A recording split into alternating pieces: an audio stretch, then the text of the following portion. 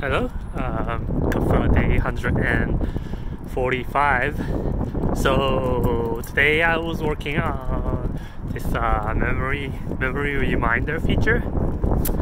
Uh, so what it does is it gives you related articles that you have read in the past to the one you are on right now. Um, it helps facilitate memory connection and also feel like the progress uh, that's happening.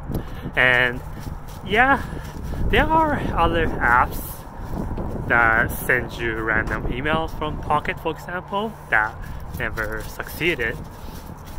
But hopefully, um, it has enough aesthetic and enough convenience that you don't need to like use Pocket. Um, as well as it's it's all from your past that you feel more personal about, it will make enough difference. Uh, I'll see. I think this is like the killer feature that I can think of that I'm excited about actually, and um, yeah, this is like a, my last shot. Um, see how it goes. I, I, think people will like it.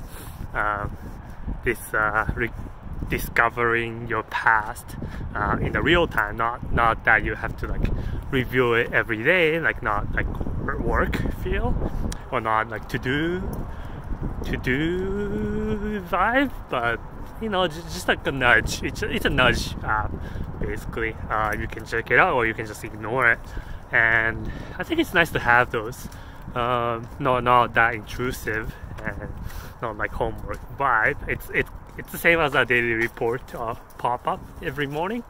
Um, I think it gives the same vibe. So yeah, I, am halfway there. Um, I was testing out the best UI to display the connection, connect the articles, uh, and I'm working on the back end now. I'm gonna work on the back end uh, once I get home uh, to start sending out. Yeah, yeah. See how it goes. Um, all right, so